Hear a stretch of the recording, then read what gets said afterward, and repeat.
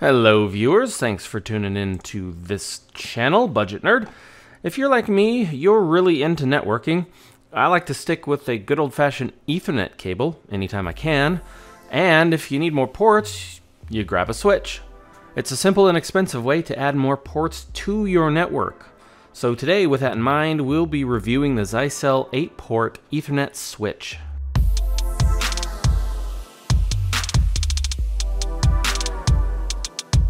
This video is the last in an unofficial series of reviews on the products Zyxel were kind enough to send to me for review. This gigabit switch's model is GS-108B version 3. Uh, and a switch like this is a pretty simple network device. You hook it up, power it on, and forget about it, right? Well, let's first off uh, see what's inside the box. Opening it up, you can see some rubber feet for setting it on a desk or you could mount it on a wall if you want. Here's the switch. You get the typical activity lights in the front, and uh, it's an 8 port uh, switch, this particular one, so you get your 8 ports on the back. It feels good, it's pretty solid. The case is made of metal, which is a plus. Uh, so this switch claims to have two high priority and two medium priority ports. Uh, we'll get, we'll touch on that a little more later. Last, we have the power adapter. So nothing super exciting in the box, but uh, plug the thing into power, connect one port to your existing network, connect your computer and any device to a free port, and let's start switching packets. Of the eight ports on this switch, two are labeled high priority ports and two are medium priority ports. What this means is you can specify which devices get priority on your network in the case of network saturation, depending on where you plug them in. If the switch becomes saturated, it will prioritize traffic through the buffer based on the priority of the port it's going to.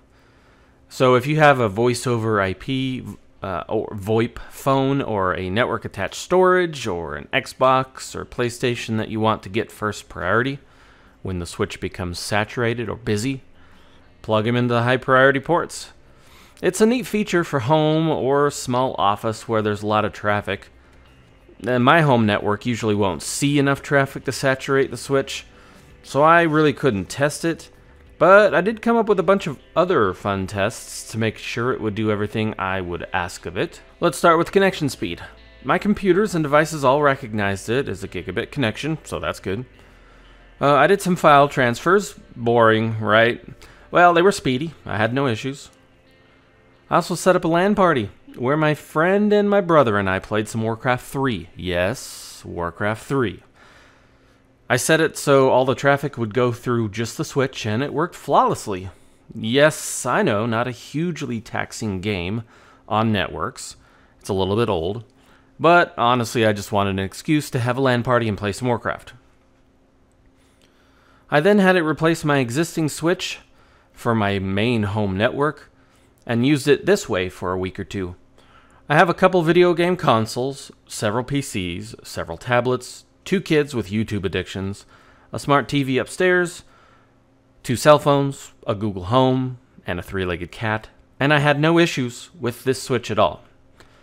What can I say? It does what it says it'll do. No issues, no slowdowns, no problems whatsoever. Uh, on a side note, I did hear uh, about a number of people having issues streaming videos through this switch using DLNA. So I made sure to test that. It must have been worked out because I tested this extensively, streaming videos from my home server to my Xbox One using DLNA, and I did not have a single issue. So, works well. But how does it stack up on price then? At the time of this video on Amazon, it's going for $24.99. There were a few Switches that came in a few bucks cheaper and several that were more expensive, but this one sits comfortably in the middle, closer to the inexpensive range. Uh, very competitively priced, then, I would say. For someone who would benefit from the ability to prioritize some of their devices, this Switch really stands out, and the metal case is a pretty nice feature too. Some of the cheaper ones had plastic cases. So that's about all I could come up with to cover. Uh, I'd recommend it. If you're interested in picking one up, there's a link in the description. Thanks for watching.